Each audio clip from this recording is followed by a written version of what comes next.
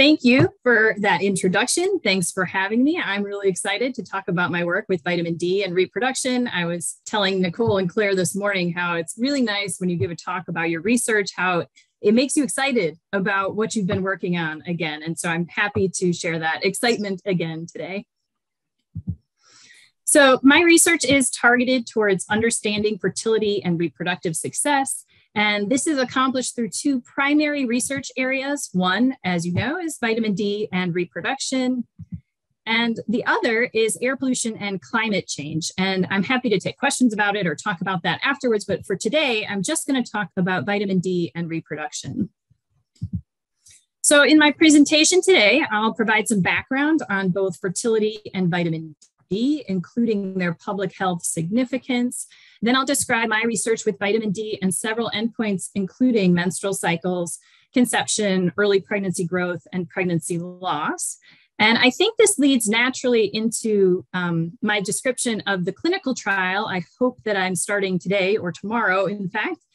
Uh, and I'm going to talk also after that about some in vitro and mouse studies that I'm working on and these studies provide preliminary data and support for the hypotheses we're investigating in the clinical trial. So it won't be entirely linear how I go through these, but I will touch on every one of these topics. So first, a little background on fertility. In the most recent results of the National Survey of Family Growth, about 12% of reproductive age women reported that it was difficult or impossible to conceive a pregnancy for each person reporting difficulties conceiving, there may be a partner sharing that experience, which increases the number of affected people. Moreover, this is the proportion of women currently experiencing fertility problems. That proportion experiencing fertility problems in their lifetime would, of course, be higher. Fertility treatments are expensive. Um, they can cost, um, for example, in vitro fertilization can cost fifteen to twenty thousand dollars per cycle, and often it requires multiple cycles to achieve a live birth. Also, there are known disparities in fertility treatment utilization. Utilization is lowest for people of Black race or Hispanic ethnicity. Um, some states require that fertility treatment be covered by insurance companies, and these insurance mandates increase utilization rates across all racial and ethnic groups, which indicates that cost is indeed a barrier to all people. However, the disparity across racial and ethnic groups remains. So it's important to identify the causes of subfertility to reduce its burden, but it may be especially important for populations lacking equal access to the remedy for subfertility, which is fertility treatment. So vitamin D is known as the sunlight vitamin, and that's because it is synthesized in the skin in response to ultraviolet B radiation. Cholesterol precursors in the skin are converted to vitamin D3. We also get vitamin D from our diet. Vitamin D is found in fatty fish and fortified dairy products, also in fungi, the form of vitamin D in mushrooms and other fungi is vitamin D2, as opposed to the vitamin D3 that's synthesized in our skin or fortified into the food. In humans, vitamin D3 is much more common than vitamin D2. For the purposes of this presentation, I'm just going to refer to both forms as vitamin D. So vitamin D from the diet is absorbed in the intestine and it circulates in the blood. Similarly, vitamin D from the skin is also carried in the bloodstream. It makes its way to the liver where it's converted to 25 hydroxy vitamin D, which is also called 25 OHD or how I'll refer to it today. 25-OHD is a biomarker of vitamin D status, and it's what's used clinically to define vitamin D deficiency. Deficiency can be defined as a 25-OHD level of less than 20 nanograms per mil, and sufficiency would then be defined as a 25-OHD level of 20 nanograms per mil or higher. 25-OHD can be further metabolized to 125 dihydroxyvitamin D, or as an abbreviation, 125-OH2D. This is the active form of vitamin D, and it's what binds to the VDR, or the vitamin D receptor. The conversion of 25-OHD to 125-OH2D is catalyzed by the enzyme 1-alpha hydroxylase, which is encoded by the CYP27B1 gene. The kidney is the most well-known site for the conversion of 25 to 125. However, the discovery of 1-alpha hydroxylase in numerous other tissues suggests that this conversion probably occurs elsewhere, including the ovary, the uterus, the brain, and the placenta. And this has led to the hypothesis that vitamin D might be relevant for numerous biological processes, including reproduction.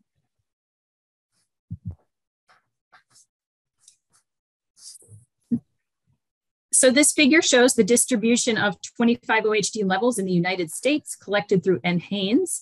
The mean 25-OHD level across all reproductive age people is 25 nanograms per mil, which is lower than all other age groups. The prevalence of vitamin D deficiency varies by race and ethnicity, with a prevalence of 75% among Black people, 45% among Hispanic people, and 14% of white people. In terms of vitamin D and fertility, there are three animal models that have been used to study the effects of vitamin D on fertility. The first is the vitamin D 1 alpha hydroxylase knockout mouse model. And this is a model in which that enzyme that catalyzes the change from 25 OHD to 125 um, OH2D is knocked out. So that conversion does not occur the vitamin D receptor null mouse model, where the vitamin D receptor has been removed, and then the dietary restriction model. So, vitamin D deficient diet is fed to mice or rats. And surprisingly, across these models, there have been somewhat consistent results in terms of reproduction. The mouse models or the animal models show decreased follicle development, decreased ovulation, decreased corpora lutea, increased uterine hypoplasia, and decreased fertility. And so this led us to ask these questions within women. Um, and I've started with um, menstrual cycles. Um, my research with vitamin D has progressed through a spectrum of reproductive endpoints from menstrual cycles to conception to early pregnancy growth and to pregnancy loss. And through my presentation today, I'll walk through this spectrum, beginning with a series of observational studies, um, both published and ongoing. Um, so my first question based on these animal studies was, is vitamin D associated with prolonged menstrual cycles or delayed ovulation?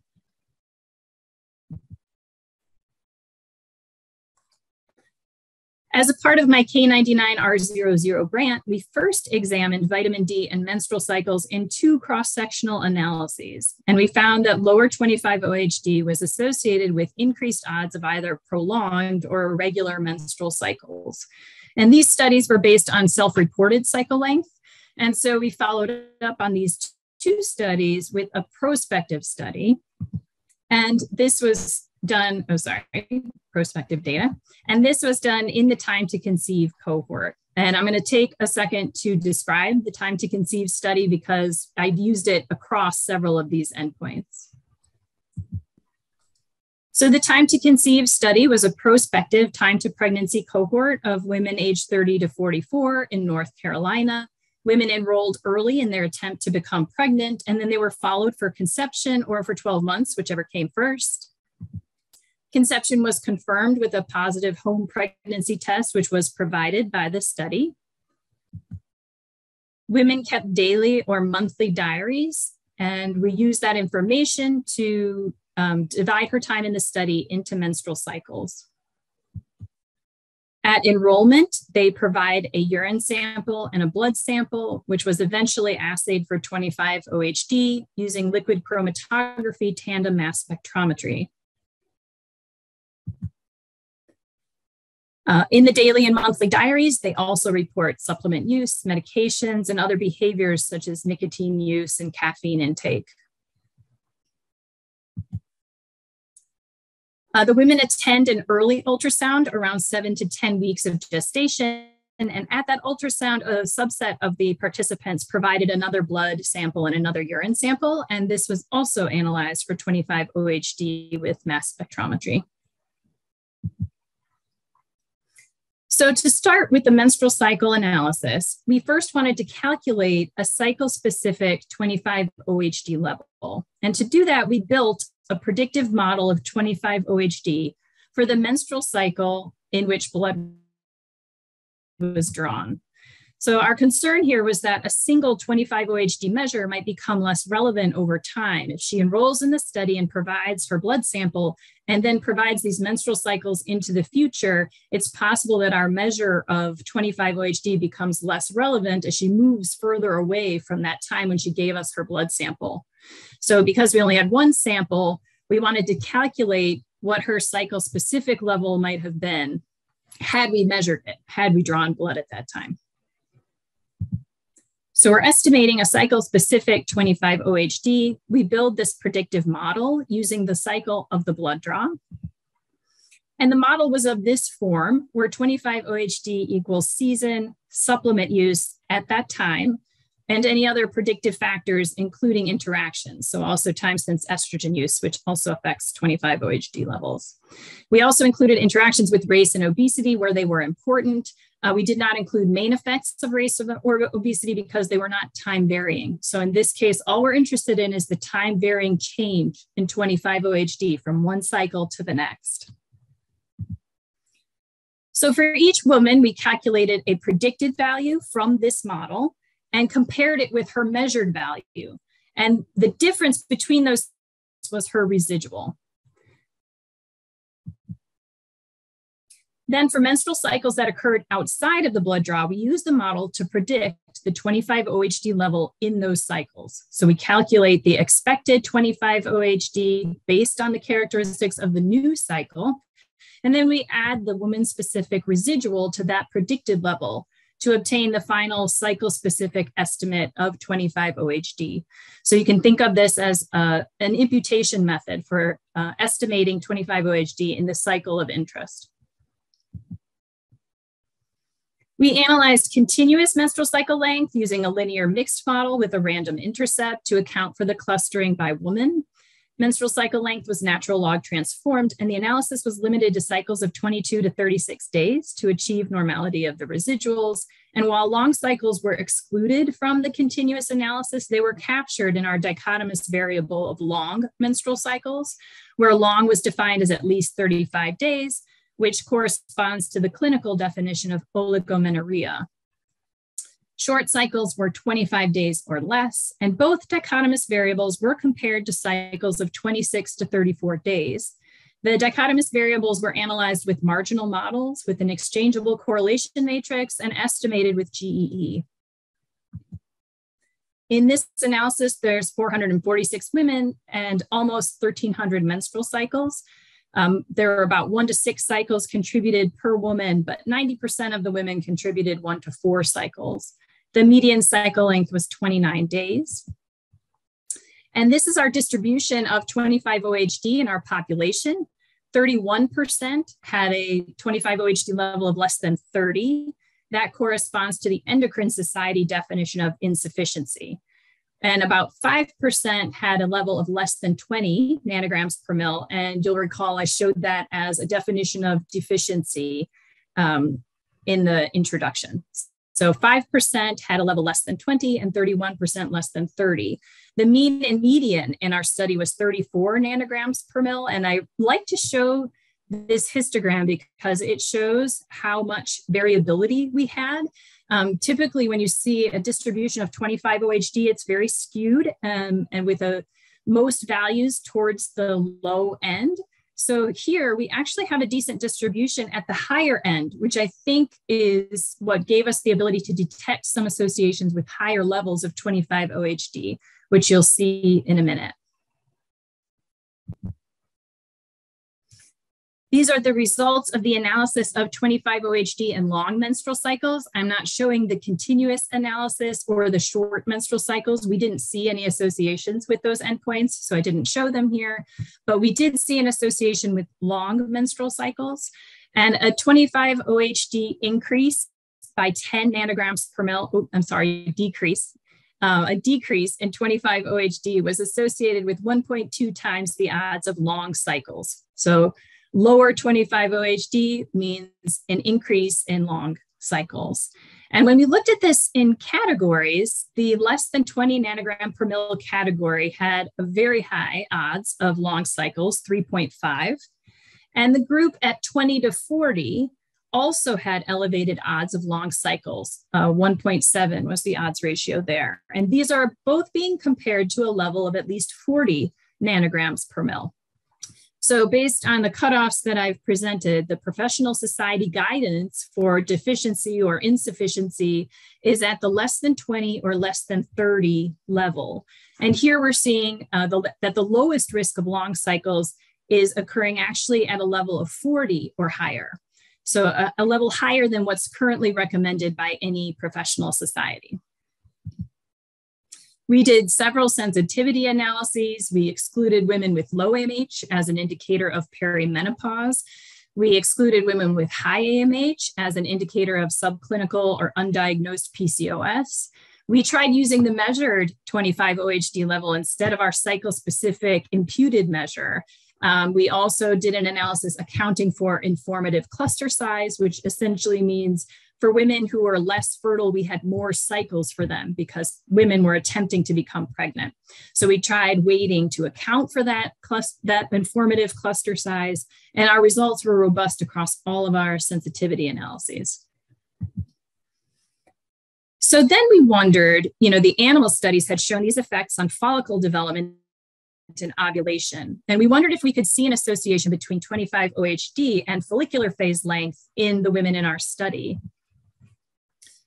So follicular phase length was defined based on Clearblue digital ovulation predictor kits. We distributed these partway through the study, so not all women received the uh, predictor kits. Um, so we have a smaller sample size uh, to address this um, research question. Uh, ovulation was defined as 24 hours after a positive test. And we used a very strict definition and we didn't allow any missing days. So if she had a positive ovulation test, but the day before was missing, we didn't count that. Uh, the follicular, follicular phase length is the number of days from menses to ovulation. And I included a graphic here to show day one of the menstrual cycle is usually the first day of menses. And the follicular phase extends up to, but not including ovulation. And we also looked at luteal phase length, which would be the day after ovulation, up to, but not including the first day of the next menses. So follicular phase length was dichotomized into long and short based on our 90th and 10th percentiles. And luteal phase was also dichotomized into long and short. And again, we used GEE models to look at these dichotomous outcomes. And we didn't see any really any associations with luteal phase length, or they weren't as robust as the association with follicular phase. So this figure shows the predicted probability of a long follicular phase on the y-axis by the 25 OHD level on the x-axis. And the risk of a long follicular phase is highest for low levels of 25 OHD which suggests that lower levels of 25-OHD are associated with delayed ovulation. Since we didn't find any other literature on vitamin D and menstrual cycles or ovulation, we wondered if season, as a potential marker of vitamin D status, was associated with either of these endpoints. We looked in two different cohorts at that question of seasonality.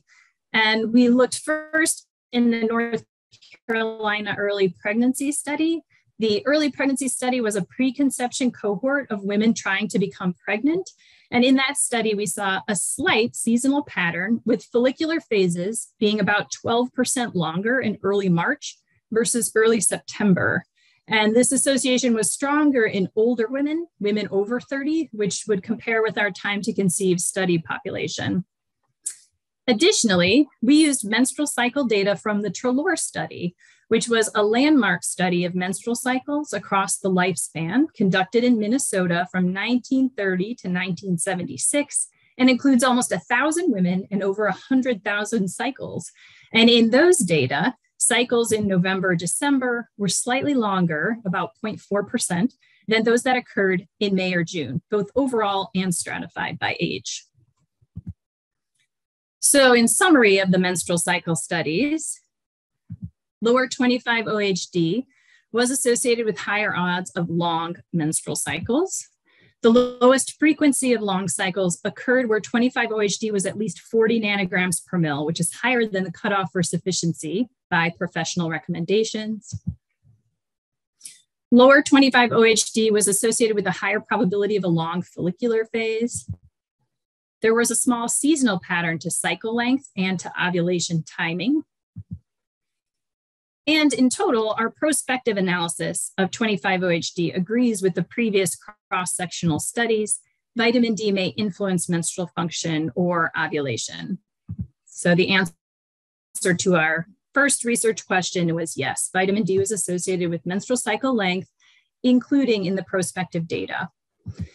And our next research question was whether vitamin D was associated with the probability of conception and we again use time to conceive data to look at this association. I'm sorry, should I pause for questions? Are there any questions?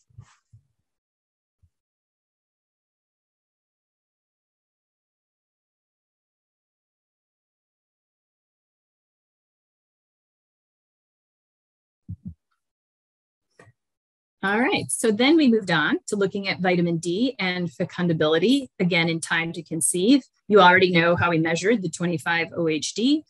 Fecundability is just the probability of conceiving in a given menstrual cycle, and that can be estimated with time to pregnancy. The number of menstrual cycles to conception, if you think of that as K, then 1 over K is a maximum likelihood estimate of fecundability, the probability of conceiving. We use discrete time survival models where each menstrual cycle is a unit of time. This analysis strategy takes into account what we call delayed entry, which means that our participants have cycles of attempt prior to being in our study. A couple doesn't enter the analysis until the cycle they enrolled in the study. Thus, the estimate of fecundability for cycle one is only estimated for couples who were enrolled in the study at cycle one. If a couple didn't enroll until cycle three of trying, then they wouldn't contribute to our analysis until cycle three. So using this strategy, we're able to accommodate delayed entry, which accounts for these cycles of attempt prior to entry.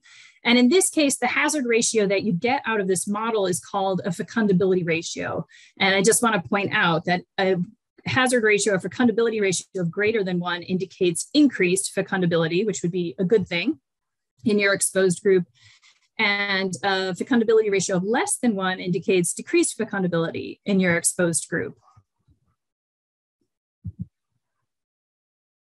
So this table shows the associations between 25 OHD and fecundability, where fecundability is defined as the probability of conceiving in any given menstrual cycle.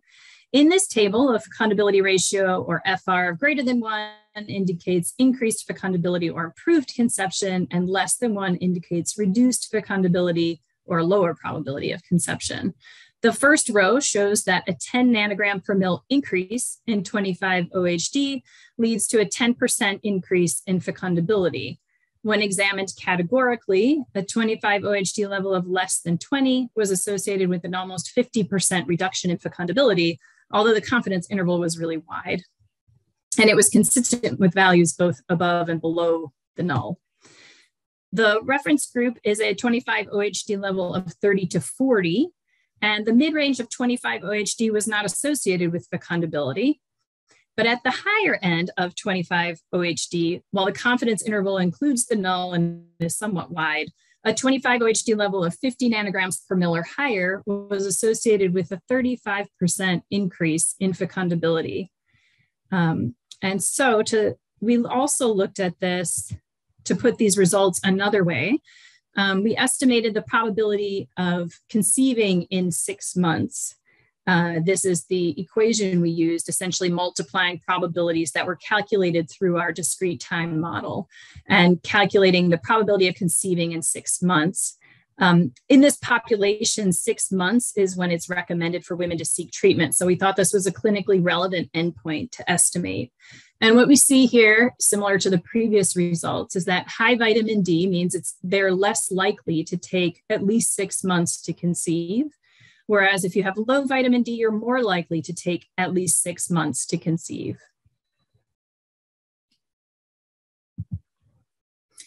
again, we had done uh, sensitivity analyses for this um, and very little change in our estimates based on several sensitivity analyses. So here I'm showing the results of what I know as the existing literature of 25-OHD and the probability of conception. The relative risk or the odds ratio for conception is on the y-axis.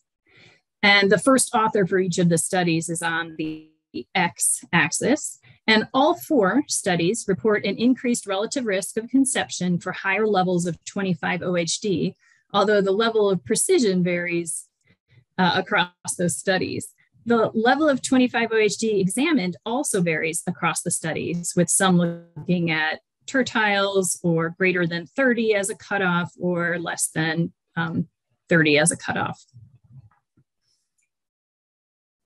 Uh, but consistently, these studies are showing an elevated probability of pregnancy with increasing 25-OHD. So in summary, the literature supports an association between vitamin D and conception. In our study, the association was seen at high levels of 25-OHD, at least 50 nanograms per mil. So the answer to our second research question was also yes, but I do think we need more data and larger studies because there was quite a bit of imprecision in those estimates that I showed um, to better estimate the strength of the association and also the shape of the association. So understanding the dose response association between 25-OHD and the probability of conception. So I still think there is work to be done in that area of vitamin D and conception. Any questions about that piece?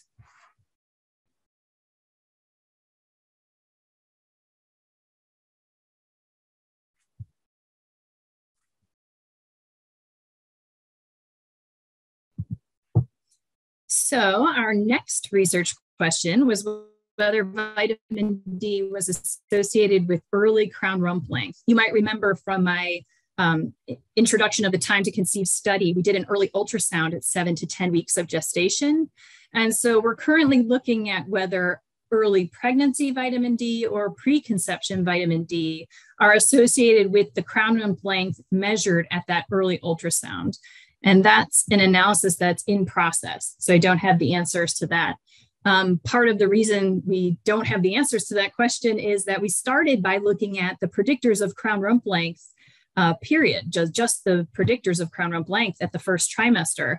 And we did this based on ovulation. If you remember, we have ovulation kits for a proportion of these um, conceptions. And so we were able to build a growth curve, a crown rump length growth curve based on ovulation, which to our knowledge hasn't been done before. Um, but that helps to inform, and we looked at factors related to that crown rump length. And that's going to help to inform our analysis of covariates when we look at vitamin D and crown rump length. So all of that is in process.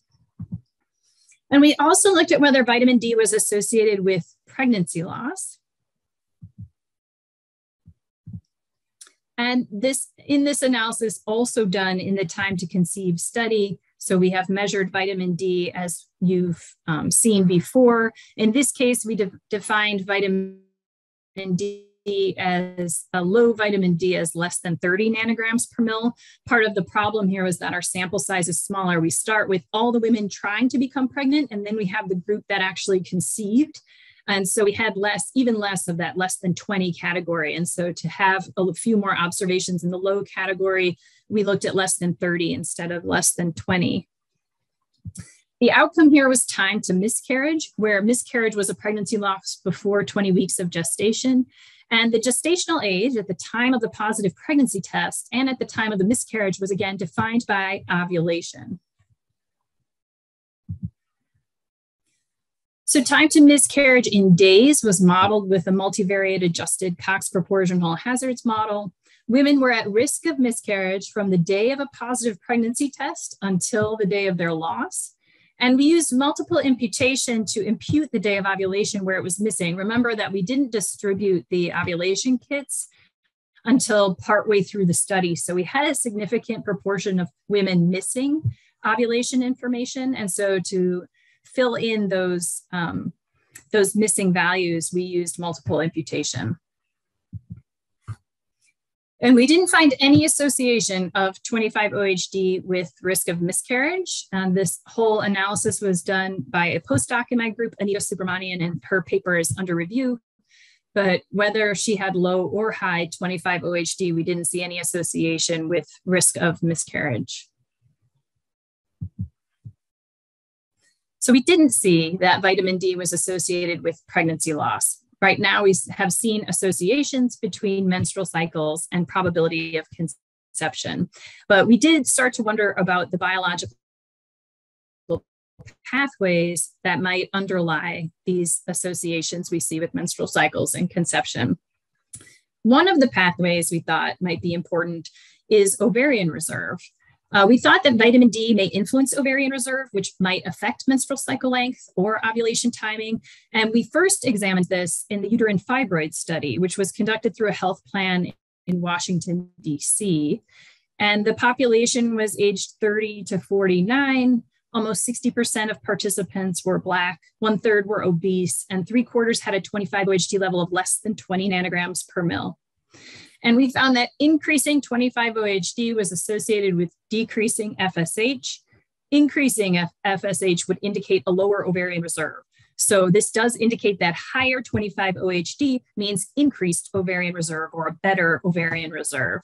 And this was in fact stronger for younger women and stronger for Black women compared to white women. So we followed up on those results and we looked at vitamin D and ovarian reserve in the time to conceive cohort. Um, we measured AMH and FSH and inhibin B. And then we looked at both continuous hormone markers and logistic and uh, dichotomous uh, hormone levels with logistic regression. And these are the results from the time to conceive analysis. We looked at four different dimensions of 25-OHD exposure. And we saw that vitamin D less than 30 nanograms per mil or insufficiency was associated with increased odds of low AMH, but not increased odds of high AMH. And in fact, the continuous measure of 25-OHD, where we looked at a 10 nanogram per mil decrease, was associated associated with a reduced odds of high FSH. So in total, insufficiency was associated with low AMH, but not high FSH, which should go together. They're both biomarkers of ovarian reserve.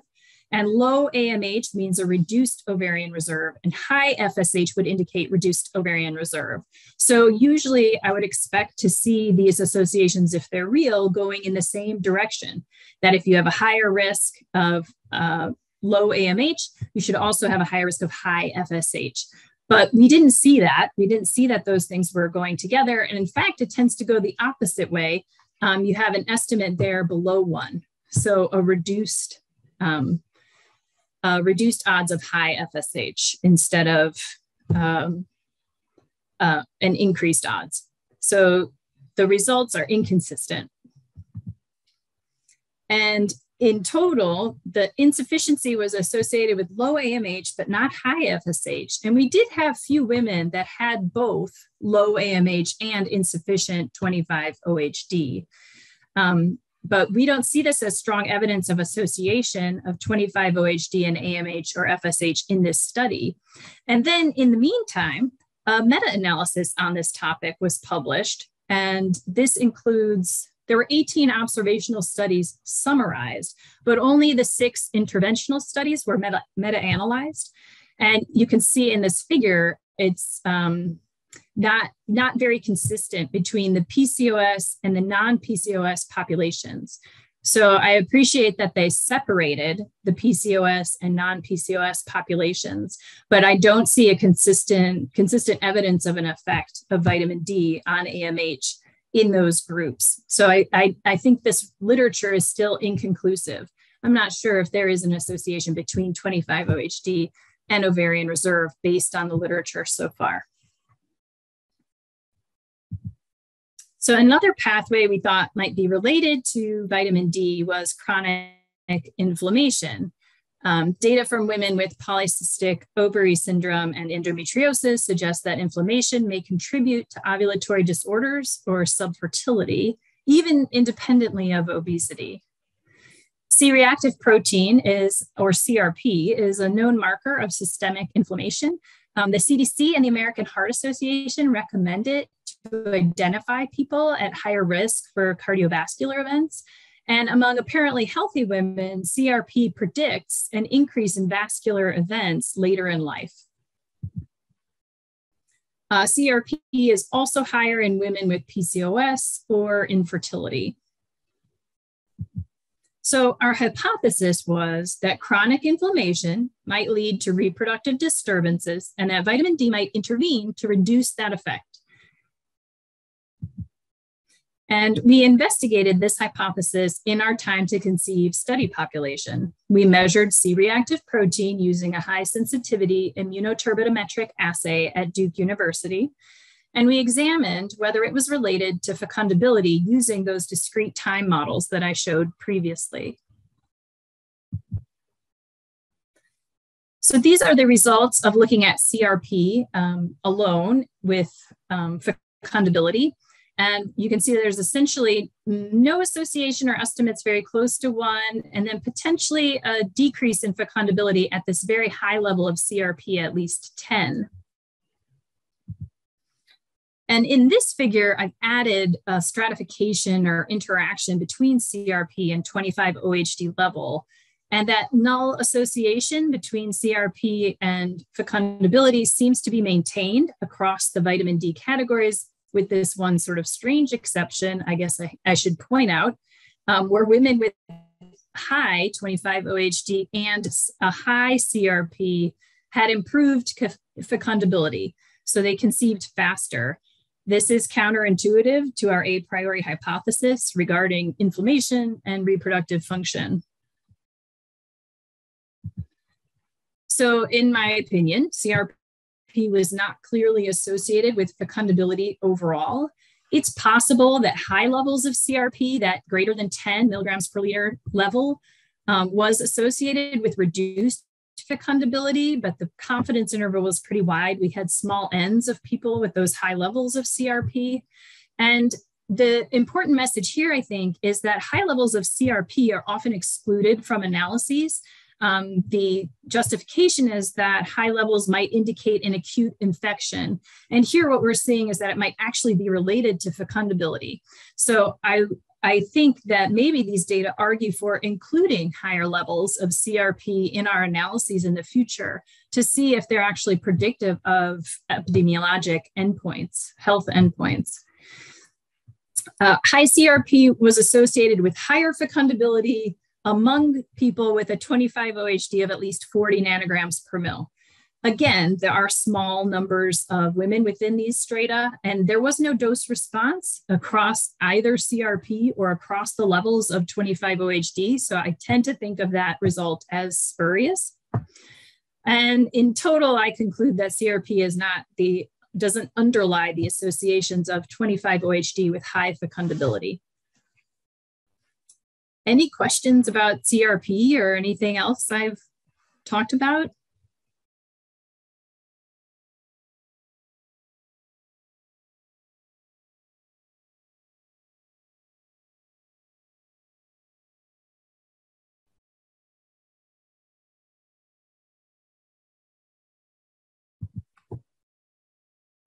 So the biological pathways linking vitamin D with either menstrual cycles or fertility are still unknown.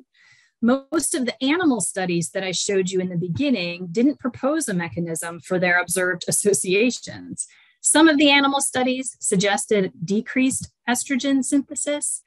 Um, however, few human studies have examined estrogen and vitamin D associations. Lower vitamin D was associated with lower estrogen in two human studies, one of which was a study I collaborated on with Quaker Harmon in our branch. And this figure shows those results that 25 OHD, less than 30 nanograms per mil, is associated with lower estradiol across the menstrual cycle in healthy cycling women. However, in two other studies, Um, one did not find an association and the other reported an inverse association. There's been one clinical trial of vitamin D, which found lower progesterone on day 21 of the menstrual cycle, but didn't account for ovulation timing or changes in ovulation timing, which also may have been influenced by vitamin D. So, from this, I concluded that more data are needed to characterize the endocrine response to vitamin D treatment.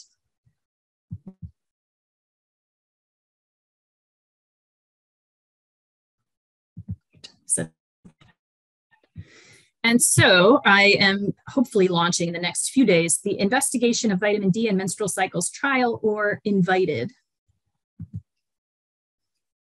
And the goal of this study is to better understand the effects of vitamin D on reproductive function. And the primary aim of the trial is to examine the effect of vitamin D supplementation on the hypothalamic pituitary ovarian axis hormones.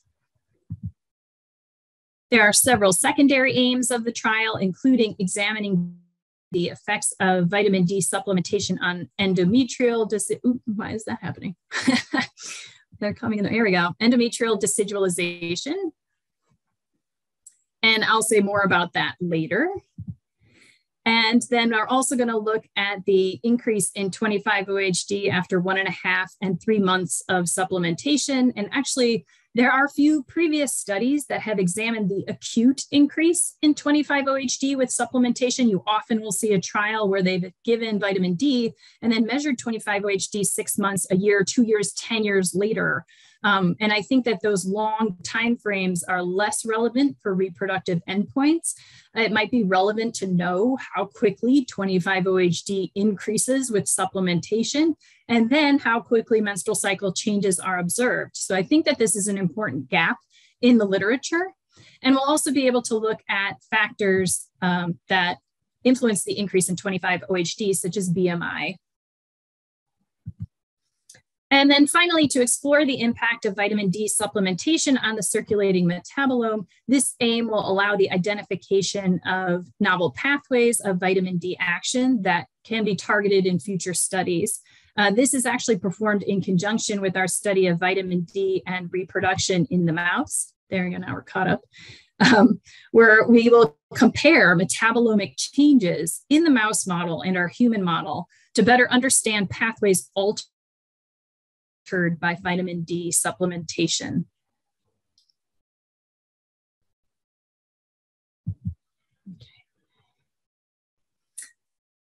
So our study is um, based at the Henry Ford Health System in Detroit, Michigan, so in your backyard. And this has also been the study site for SELF, which is has successfully recruited over a thousand Black women and their demonstrated ability to recruit Black women is important for achieving representativeness in the invited trial, since, as I mentioned in the background section, Black women have an increased risk of vitamin D deficiency. We'll use both traditional and mobile app-based recruitment for this study. And by traditional, I mean social media posts, electronic medical record data, and community flyers. And for app-based recruitment, we're partnering with Ovia Fertility and with Clue which are mobile apps used for menstrual cycle tracking. These companies will be able to push an advertisement for our study to their users in Michigan. Once women see the ad, they can visit our website where they will complete a screening interview. And the screener assesses our eligibility criteria, including cycles less than 50 days, age 19 to 40, not using exogenous hormones, not currently taking vitamin D or calcium, and a BMI of 35 or less. So in phase one of the study, this is pre-supplementation. We observe their cycle for one menstrual cycle. During this time, they collect daily urine and daily diaries, and we measure, we take a blood sample and we measure their 25 OHD. In phase two, they receive supplementation with vitamin D, uh, cholecalciferol at either 4,200 IUs per week or 50,000 IUs per week. They're randomized to one of those levels. And they're only randomized to a treatment level if their vitamin D or their 25 OHD is less than 20 nanograms per mil. Anyone who has a level greater than 20 nanograms per mil is um, not invited into phase two of the study, other than a small random sample of people over 20 who will then receive a placebo. So, in that way, just entering phase two doesn't tell anyone what their level of 25 OHD will be or was when they came into the study. In phase two, they provide two menstrual cycles of observation where they're doing ovulation kits to identify the day of ovulation. And then in their third cycle of phase two, they start collecting daily urines again and providing daily diaries. Oops. So for the primary aim of the trial, we'll compare the following hormonal markers pre and post supplementation. Mid-luteal progesterone, which is the most consistent um, and well-established sign of a healthy and fertile follicle. We'll also compare rate of rise in follicular phase estrogen as an indicator of follicle development. Um, prolonged cycles may result from reduced estrogen production, and healthy follicle development is indicated by a consistent rise in preovulatory estrogen. So we'll also look at preovulatory LH as an indicator of healthy ovarian hypothalamic interaction. And all of these hormonal markers will be measured by Dr. Nanette Santoro at the University of Colorado using funds from a bench to bedside award that I received last year.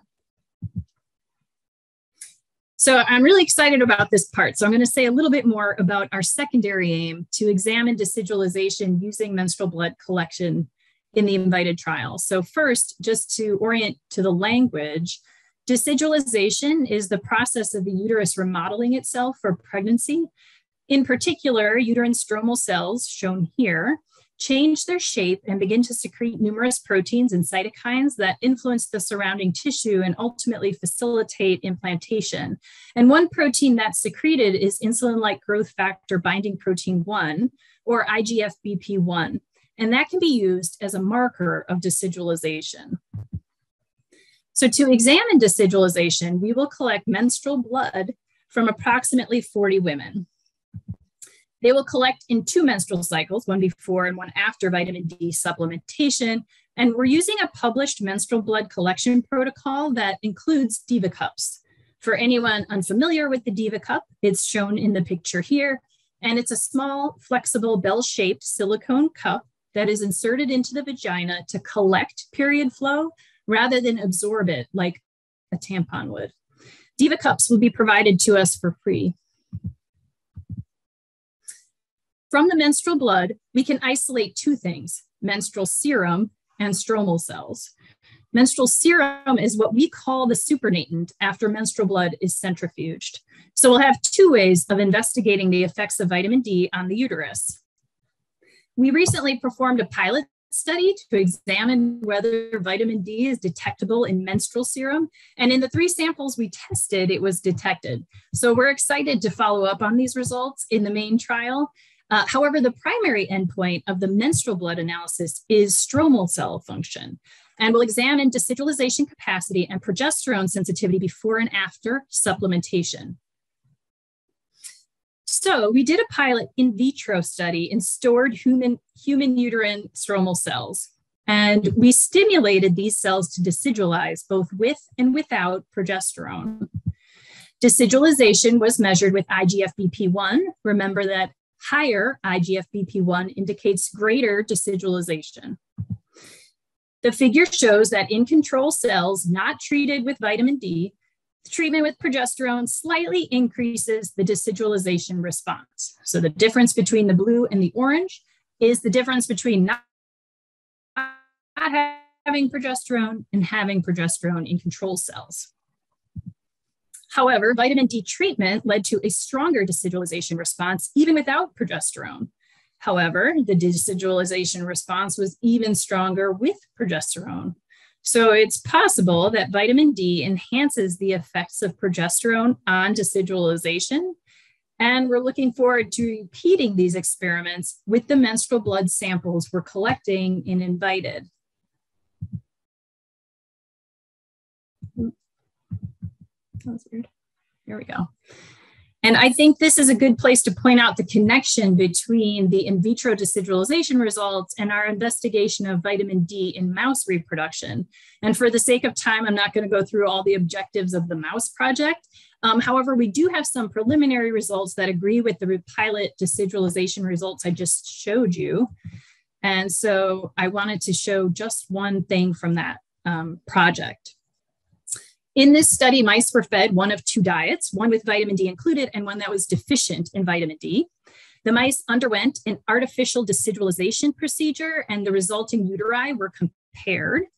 And we found that when mice were given a vitamin D deficient diet, decidualization was less robust. And the figure shows that the uteri from vitamin D replete mice in the left column were larger, indicating a larger decidualization response compared with the right column, which shows a relatively small decidualization response in the vitamin D deficient mice. And if you prefer the graph, the decidualization response was about half as strong in the mice fed the vitamin D deficient diet compared with the vitamin D replete diet. So just to quickly summarize the trial, it synthesizes both animal and human observational studies into public health health relevant translational research. The trial investigates vitamin D's influence on hypothalamic pituitary ovarian axis by careful evaluation of hormonal changes that occur with vitamin D treatment. I want to acknowledge my co-investigators on the invited trial, um, some at NIEHS and others not at NIEHS, but this is just a tiny fraction of the people I know are working very hard on this trial. And I'd also like to acknowledge um, all of my collaborators, both on the trial and on my other projects, and all of my funding sources. And just a little plug for NIEHS that we're hiring. I'm hiring in my group, so feel free to scan the QR code, and that'll take you to the, the announcement of our postdoctoral fellowship. Thank you.